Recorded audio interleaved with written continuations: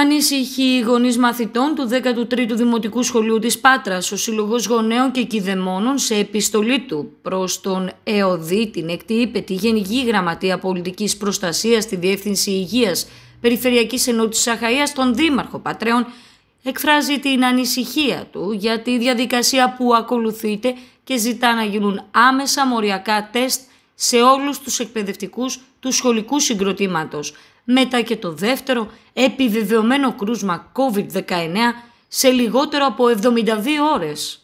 Θεωρώ ότι είναι αδιανόητο να, να, να υπάρχουν αυτά τα κρούσματα και να μην, γίνεται, να μην γίνονται τεστ και η χνηλάτιση που πρέπει να γίνει.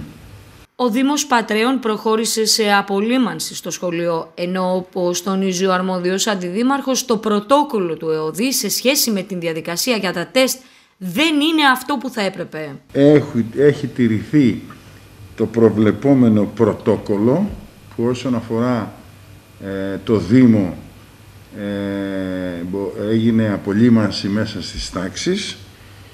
Όπως όμως σωστά ε, επισημάνατε, στο σχολείο έχει δημιουργηθεί ένας αναβρασμός.